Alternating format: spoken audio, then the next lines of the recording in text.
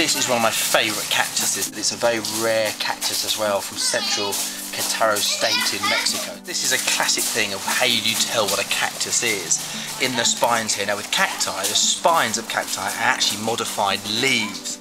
The actual photosynthetic bit, the green bit, isn't the leaf, it's the actual branches, stems, which are the ridge sections of the plant here. And another distinguishing feature with cacti is that all these spines in each section come from one point, an areole.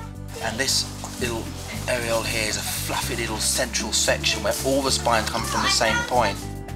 My take on why they've got the spines, really, in part, is if they've got a big, big palmate leaf like a horse chestnut or whatever in the desert with the blowing winds, they're going to have massive transpirational loss. I mean, it's just going to blast them away.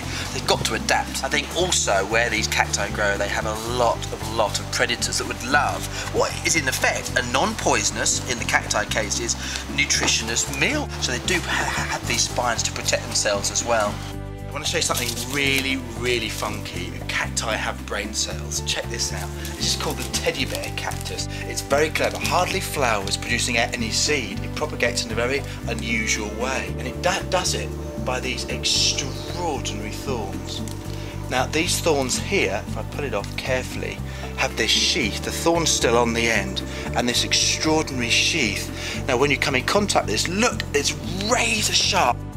When someone walks into that, like a fishing hook, the hairs are pointing the other way, so when you walk into it, you get stabbed by the thorns. This sheath gets released, which this sheath has an act of, um, it sort of paves the way for the thorns. When it goes into you, the thorn is flung into your skin, and they stick to you, and you try and pull, it's impossible. You just will literally virtually bleed to death and your skin is pulled, you can't get them out. And by the time you've done that, you've taken away this whole section of cactus. It'll be stuck on your arm. This has a weak union here. It easily breaks off. I could flip that and it'll just fall off. Look, it's happened here with this one down here. I've knocked it slightly and it's fallen off. You then eventually flick it off in the paint, or a horse does, or a wild boar, whatever does, lands on the ground, and it will root into the ground, and a new plant starts again. So you're propagating it. That's how it propagates itself. Stitch itself to animals or humans. The pain is extraordinary. It's fantastic how they've adapted to pro propagate in that way, and they hardly flower produce seed because they don't need to.